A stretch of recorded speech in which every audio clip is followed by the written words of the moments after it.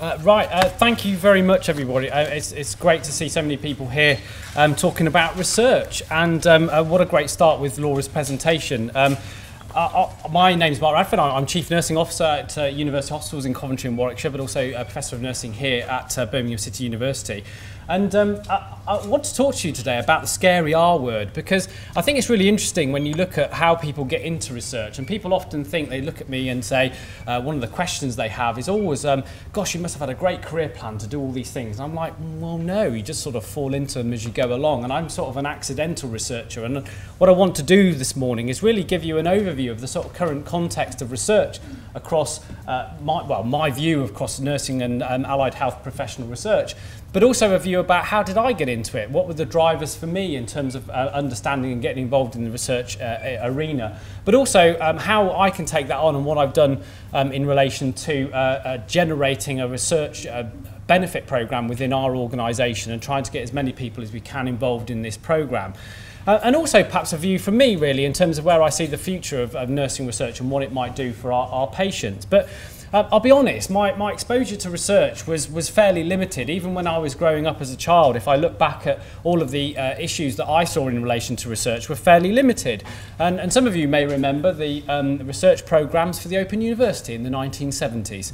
Um, and, uh, and these were the sorts of uh, images that were associated with research within uh, growing up. And uh, actually, there's been a renaissance. Never, ever has there been uh, a, a change in science and research. It's now really, really super sexy because actually now we've got uh, people within the media, we've got Brian Cox, we've got Alice Roberts, uh, pushing back really against some of the sort of traditional views about what science and research might be.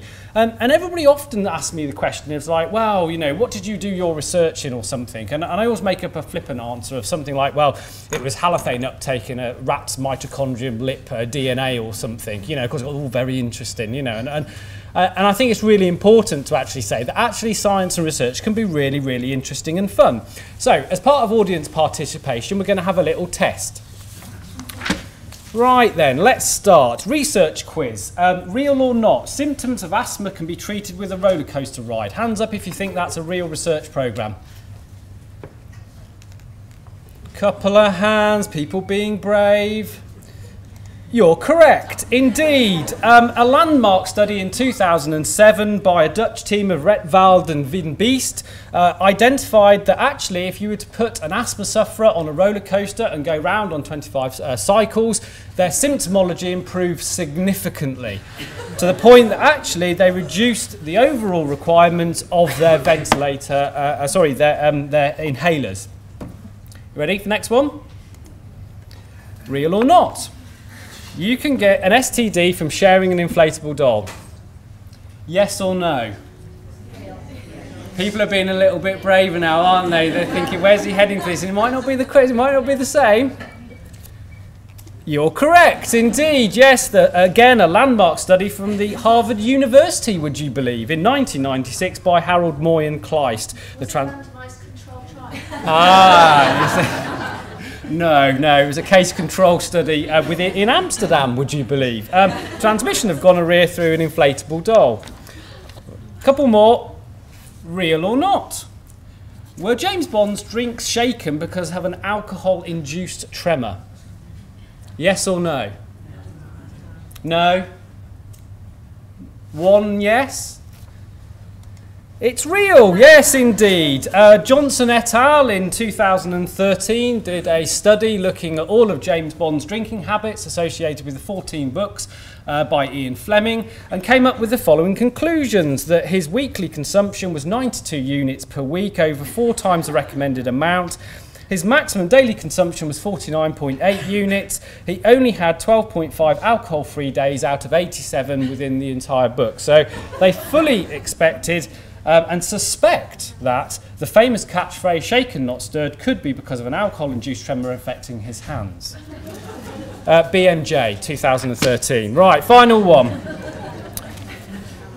The survival time of chocolates on a hospital ward. Real or not? It's real, yes, again, fantastic study by Moualed et al. in, in the BMJ. Uh, two, uh, this was a, a, covert observational study conducted in a, a number of major teaching hospitals in the London area where boxes of Quality Street and roses were distributed onto wards and were covertly observed over a period of time. Um, uh, 74% of chocolates were observed being eaten. The mean time from box being put out to being eaten was uh, 254 minutes. Um, confidence interval of 179 to 329. Um, and the survival rates were that actually roses were eaten sooner than Quality Street. Um, but actually, what they didn't do, and the flaw in the study, is they didn't look at the qualitative detail of which uh, uh, chocolates were left and which chocolates went first. So there's a flaw design in there, which obviously I fed back on. Um, and uh, what they identified is chocolates were primarily consumed by healthcare assistants, nurses, followed by doctors. However, again, uh, a bias within the study is that it was medical students doing this, and I believe that they uh, were the ones who had eaten them all along. right. So it just goes to show that actually science can be, and research can be really quite interesting. So my, my uh, halothane uptake in a mitochondria that wraps up a lip is, is flippant, but actually that's just as important as other stuff that we do. But it just gives you a flavour of it. Well, if we look at nursing, um, and broadly since um, the early 2000s, there has been a bit of a renaissance in terms of the policy that supports the development of, of research in, in this area. And I think it's really important to stress that actually we've come a long way. Um, in the 2001 um, RAE research assessment exercise, we were pretty low there in terms of developing um, research. Um, we had significantly less numbers of PhD starters with, uh, compared to other professional groups, etc. Um, and permanent professorial appointments were significantly lower than, than other professions. And I'm, I'm delighted to say that that's increased enormously in that intervening period. But it's what's, what's really interesting for me is this is not just a UK unique phenomena. Um, we see this globally, uh, and, and people often look to the United States for examples where we have the science and development of nursing research has been uh, a significant part from the 1950s onwards, actually thinking about the research that came out in terms of nursing models was, was innovative in the 50s and 60s. And they face a similar problem uh, uh, in terms of the percentage of RNs with, with doctoral degrees uh, coming out of, of US institutions.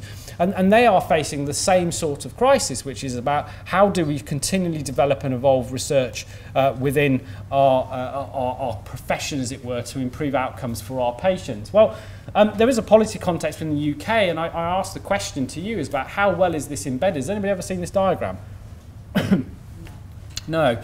Well, um, this is uh, one of the key outputs from um, the Modernising Nursing and Scientific Careers programme, which, which highlighted uh, a, a potential opportunity for people to go into research whilst remaining clinically active within their role. And that, for me, is fundamental. Um, and, and I dare I say it, that's one of the things that I think medicine got right, which is actually um, being clinical and doing research was critically important in role modelling behaviours out in practice for people to see the benefit of research and also an opportunity for them to go forward.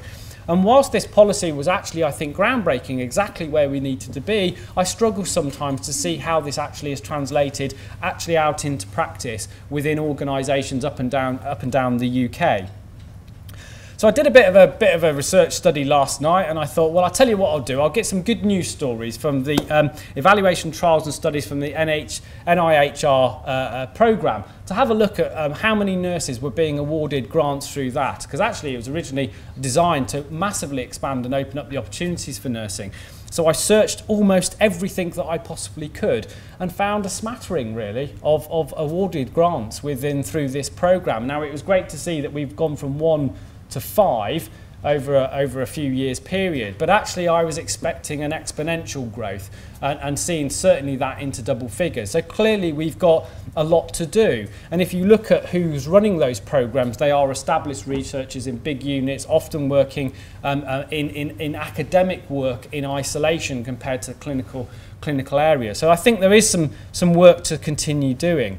But one of the key things, particularly when I first started out as a student nurse, was building research into the curriculum. Um, and it was really important that people at the time were questioning, well, why do a module on, on research methods whilst you're an undergraduate nurse? Because you're not going to have the opportunity to go on and do research. That was the paradigm at the time. But for me, it was more importantly about developing the skills and the capability, the understanding of what research can do, so you can apply it out in practice. And that for me was a building block. It was a brave decision, and I still think it was the right one to, to happen. But actually, it was also about introducing it as a, as a potentially viable career to, to others. Um, and it was also about don't be afraid of the R word. Um, and, and it was important to understand that research isn't necessarily scary for people to do. It depends on how you articulate it and how it's organised. Now, as a, as a staff nurse working into, walking into an academic unit in a big university teaching hospital with a professor of medicine doing their highfalutin stuff and all I have to do is take blood for him at the end of the bed, it's no wonder people won't break out of that to think about what does that research mean to them and what could they do with their own programme. And it's also about students doing research. And, and, and it's somewhat sad to see in lots of programs up and down the country that when I was a, an undergraduate, actually research was a fundamental part of what we did, including doing a, a piece of research or low scale, low scale research within um, my degree um, as an output through the thesis. And that's changed significantly now in terms of the output programs we see with undergraduate nursing uh, broadly across uh, the UK. But it's also about how often do we get undergraduates and students involved in these sorts of programs. Now, I'm delighted here, obviously, at BCU that that's an active part of what we do. But that is inconsistently applied across the whole of the UK when we look at the student population. And what's really critical is unless we start at this very early stage, building the building blocks into people's uh, way of working, it's very difficult to then go on to build capacity, particularly at postgraduate level. Um, um, and it's really important that we use those opportunities to ensure that we can highlight people who have a a focus or a belief that they would like to go on to do that, but actually they remain in clinical practice to deliver what they need to do. Now, my background in, in research is, like I said right back at the beginning, it was sort of rather accidental. Um, I was a, I was a theatre nurse for, for many years, and um, I remember when I first joined um, the nursing profession, um, there was a debate raging within the literature, both in terms of research as well as also opinion and documents, that actually you didn't need to be a nurse to work in an operating theatre. It was purely a technical task and nursing was wasted. And, and this used to make me very irritated because actually uh, with unconscious patients or patients who are extremely vulnerable in those sorts of situations throughout the entire perioperative process, they are at their most vulnerable and that's where nursing, I think, can make a significant contribution to the outcomes of their care.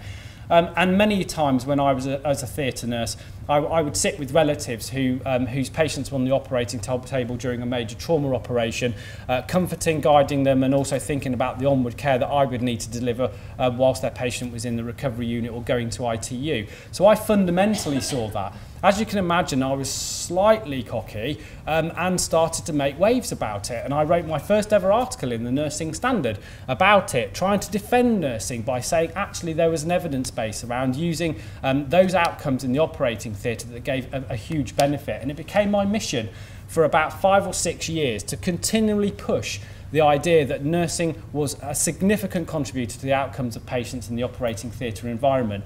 And I started to then start to look at studies. So my first study started to look at the students' experience in the operating theatre because they were taken out because it wasn't seen as nursing. So I recrafted a program to bring them back in, to follow the patient journey, to think about the continuity of care, to identify the learning opportunities around infection control, fluid management, hypothermia. Whatever I could identify was brought into this program. And that was my first outcome that actually I published a study here with uh, one of the lecturers from BCU.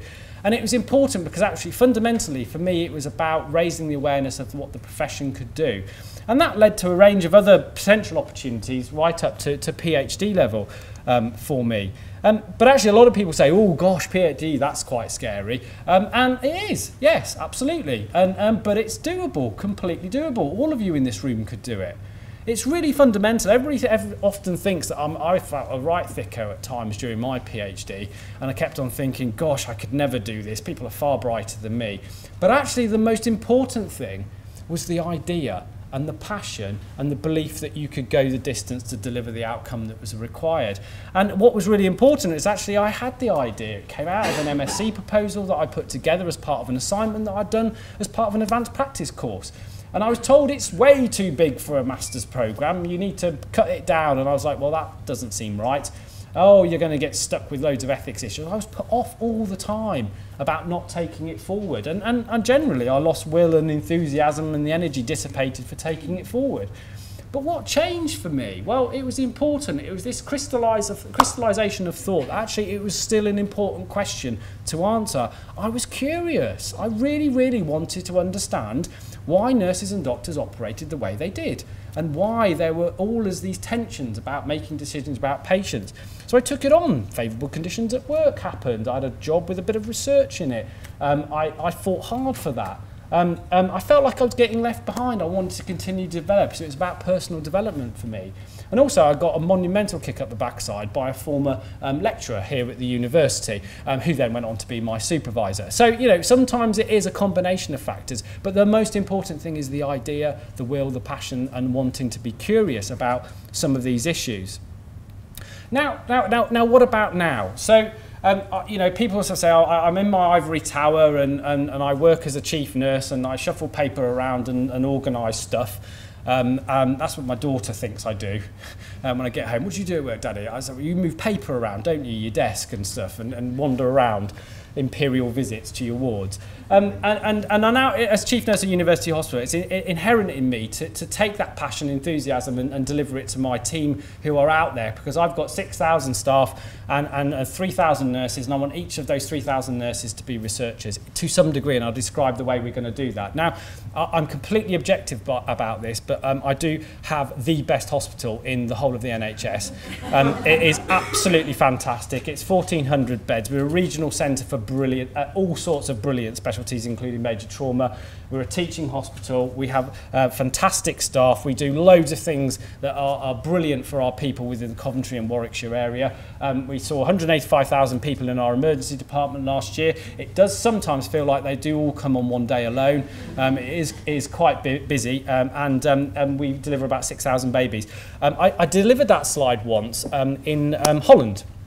And I was trying to be, I was trying to be kind, you see, because sometimes translation doesn't work, and I do talk fast, so I tried to translate my slides into Dutch, um, which I did. Um, and here's a here's a salutary lesson for you: don't use Google Translator, um, because I put this slide up, and there was a guffaw of laughter across the entire uh, room, and, and then somebody came up to me at the end, and they said, "Do you really post your babies?" And I went, "Post them."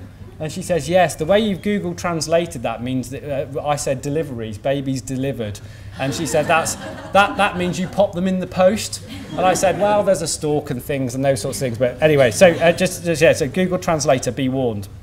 Um, last year, um, uh, when, when I first started, I, I set out a vision um, within our organisation. Uh, I thought that we had the potential to be a national and international leader in healthcare research and innovation. And that wasn't just about the doctors. This was about every member of my team being able to contribute to that. So our research um, uh, strategy was launched last year. Um, I'm delighted to see some, some members of my team here, which is absolutely fantastic, um, helping me to deliver this programme. We develop, call it the CARE programme, which is the Clinical Academic Research and Innovation Environment. And it's designed to be working collaboratively with um, higher education institutes, our staff, to deliver the outcomes that we want. So it focuses on the requirement to deliver research for direct patient benefit. It develops an, a, in a, a developmental approach to embed research in every aspect of what we do. It accredits our units to make sure that they are rewarded for the, the outputs they achieve in terms of research and care. Uh, but also prioritises resources because I haven't got an endless pot of money. So I want to do things that actually make a big difference to the people I serve within our community, but link in with those universities to do it. So this is how the care model works. Um, and what's really important is there are different levels. And the first and fundamental question that we ask everybody about research in our organisation is, can you do your job better? What is the information you need available to you to do your uh, job better? And we developed something called CBIS, which is a, a library-based search system. And anybody in our organisation can send a question to the CBIS service, which is a team of researchers who will go away and they will do all of the review for you and come back and answer your question. I've asked one recently about how do nursing rituals um, impact on patient safety around medicines management? And they've come back with all of the evidence, and what we're going to do is we're going to actually deconstruct a ward. So instead of having drug rounds at 8 o'clock and 12 o'clock and 2 o'clock and 6 o'clock, we're just going to deconstruct all of that and we're going to build it up from scratch based on what the patients want and see whether or not that improves the overall efficiency of delivery, but also the outcomes for patients in terms of reduced drug errors. So I, I, we, we, we use that service to do that. But it's also about being aspirational, making people want to think about research in their different environments. So we've set out a, a developing a research and innovation aspiration, which is that you know at the initial stages it's about using evidence base ensuring that people are exposed to research on every single ward so they might be involved in recruiting to trials they might be involved in journal clubs or mentoring people but they might be involved in see researchers and I would say um, uh, every part of our organisation uh, want to be part of our learning culture. But also there are some units that want to go on and start to develop. So we're, we're, we're investing in areas where they start up small scale projects. And that's called a level three accreditation. So I'm looking at 40 areas across our organisation that will do that. So it's about developing and supporting M master students, MRes. It's about output, so conference presentations, publications. So building that capacity and confidence to be able to do what they need to do. A level two unit is, um, is one that's linked to a higher education institute. It might only be 20 areas in our organisation, but it's an area where they're really starting to gear up in relation to delivering outputs in relation to research. So they've got PhD students, they're producing research outputs. They are getting research grants in that are self-generating and developing to keep a research team active within the physical environment as well as also level one units, which are a full HEI professorial-led uh, unit, uh, sustainable grant income, multiple PhD students, presentations as publication outputs, etc. And what I'm delighted at is actually now we've implemented this, we actually already have uh, at least three uh, level uh, one units in place. We're working on a number of areas at level two, which I'll, I'll come on to describe in a little bit. It's really busy this slide, so you just when the slides come out, you can just read it, but I'll give you the general overview. But we've looked at what we're good at, and I've looked at what our patients want and what they say is really important to us. And so we've identified some themes around research, which is, which is women's uh, health and maternity, child health, cancer and oncology, older person dignity, dementia, workforce innovation and health technology. And what we've identified and, and worked with with our care units is actually work with HEI to try and build a linked capacity i.e. that we both do those things really well together, so why wouldn't we collaborate? So our nurses, doctors, healthcare assistants, physios, etc., working in those environments get exposed to the right people doing research. So uh, she'll, she'll kill me for doing this, but this is Professor Young. Um, Annie is our um, uh, Professor of Nursing from Warwick University. Um, she has a phenomenal research portfolio in cancer and oncology, and she's a clinical trialist as well. So a nurse who runs clinical trials within a medical school. Absolutely fantastic role model, and I'm delighted that she's part of our team leading the cancer and oncology arm. Um, we also have um, a, a range of, of early start programs in, in dementia that we're working with two universities, both Coventry and BCU, in relation to uh, older people. Um, it's absolutely fantastic. The early stages of that, we've got some research nurses who've just been employed on the back of some grant income we've got that are going to be looking at the early start of our program in this area, which is, for me, fundamentally where um, I think there is a, a huge challenge looming. There is something about technology and how do we use technology? We're really good in um, the NHS of just buying stuff off the shelf, sticking it into clinical environments and hoping it works. And, and what's really, really important to me is actually we're really rubbish at evaluation research. Um, actually, we're also really, really rubbish at uh, actually understanding the psychology of how we interact with technology. And I'm delighted that uh, we've just appointed somebody in a research role at, uh, at, uh, at UHCW who's actually doing that within infection control and thinking about um, how, that, how people interact with technology to improve outcomes in things like hand washing, etc. So it goes to show that actually we, we need to think about different areas where we might be involved. And another area which is, I think, really useful uh, is about workforce innovation. And that's about thinking about the breadth of the profession, about how we take people. My, my, my vision has always been that, you know, we should have a clear development opportunity for people coming in at a support worker level right through to getting to um, PhD and chief nurses and, and, and professors, etc. It's really important that we use that and build that over time, that people see that as an opportunity to develop and progress. Just to finish on, really, because um, it is a bit of a whirlwind tour of, of my thoughts around research. And, but what, where's the future? And I think my final comments are around that balance between reality and aspiration. And it's also about a message, and the message about being brave. Because it is often the case, particularly within nursing, midwifery, and allied health profession research, is that we are often not the masters of our own destiny in relation to the research that we would like to undertake. So we all know post-mid staffs, we all know that the media interest in relation to nursing care and care outcomes, to my mind, will drive a, a set of research um, emphasis in areas that I think that we've already done. And I think it's going to take a lot of time and energy of the small amount of research capacity that we have in answering questions that we probably have already done. And, and Laura mentioned that. So there are going to be a, a more, more studies looking at care quality and clinical outcome. I'm sure there are going to be 101 new studies now on safer staffing, although the evidence for this goes back uh, uh, decades in relation to, to what we know. There's also something about the professional role of the nurse, care and compassion and what that means. And again, if you look through the literature, go into Google, but not Google Translate, and type in compassion in nursing in Google Scholar. I mean, you'll, you'll have hundreds of millions of hits.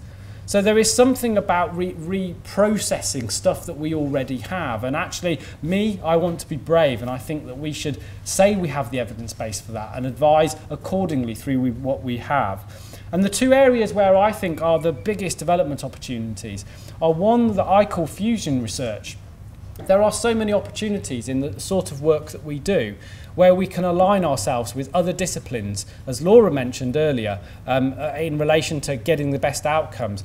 A good one for me is, um, is uh, we're looking at a program and a project here with BCU about ma using mathematical modelling as a predictor of risk utilising, um, uh, we have a patient um, um, uh, observation system called VitalPAC that takes all of this data. And actually, we've got 10 million data sets. What wouldn't be fantastic to develop a clinical mathematical model that algorithmed the potential risks based on the number of set parameters that you, you, the nurses plug into the system. So rather than waiting for the patient to fall or the wait, waiting for the patient to develop sepsis, this system will predict it based upon just simply using mathematical models. Now that stuff's already out there. If you look at banking, they use risk-based algorithms in relation to market trends and how uh, the FTSE works and they can predict when things will start to slide in different types of sector. So it's out there, it's that sort of fusion that I'm thinking of, where we will see significant benefits for developing nursing research alongside other types of discipline. And the other area is, is translational research. Um, and that's getting stuff from the bedside to the bench and back from the bench back to the bedside really, really quickly.